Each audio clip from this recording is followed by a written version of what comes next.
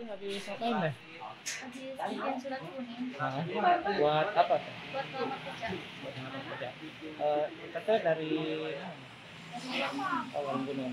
Nah, informasi cari kerja ini eh, dapat dari siapa tuh? dari teman Oh, dari teman. Ke sini sama sama teman teman-teman juga buat cari kerja ya. Eh, selama ini udah pernah kerja atau baru lulus? baru lulus Rencana mau kerja di mana?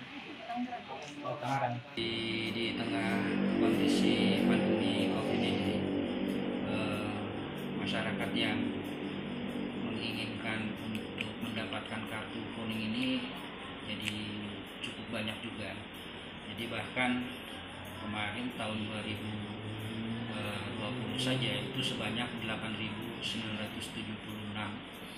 eh, pencari kartu kuning dan selama satu bulan kemarin Januari untuk tahun 2021 itu 753 jadi perkiraan rata-rata dalam setiap hari itu antara 30 sampai 50 orang mencari kartu kuning Berarti pada periode ini ada adanya peningkatan ya Pak pencakaran. Jadi mereka mungkin siap-siap untuk apa? Ketika ada lowongan pekerjaan mereka sudah siap persyaratan-persyaratan yang nanti akan disampaikan kepada lowongan pekerjaan yang mereka tuju. Untuk pemohonnya sendiri Pak berasal dari eh, kalangan mana aja Pak? Eh, semuanya sih rata-ratanya itu mereka baru lulus lah ya, baru lulus eh, sekolah SMA, SM, SMK ya. Dan oleh karena itu juga pemerintah daerah eh, anggaran tahun 2021 ini juga insya Allah akan melatih sebanyak 150 orang para eh, remaja berkaitan dengan masalah kemampuan sewing ya menjahit.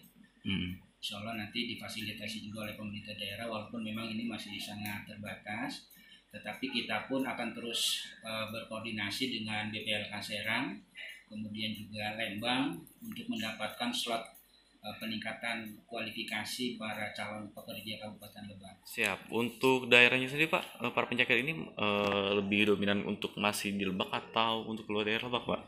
Eh, prioritasnya sih mereka ya untuk eh, lowongan pekerjaan di Kabupaten Lebak. Tetapi mereka pun eh, ketika kondisi Covid ini mungkin lowongan pekerjaan di Kabupaten Lebak terbatas. Jadi mereka mencari lowongan pekerjaan itu di Provinsi Banten dan bahkan di luar Provinsi Banten.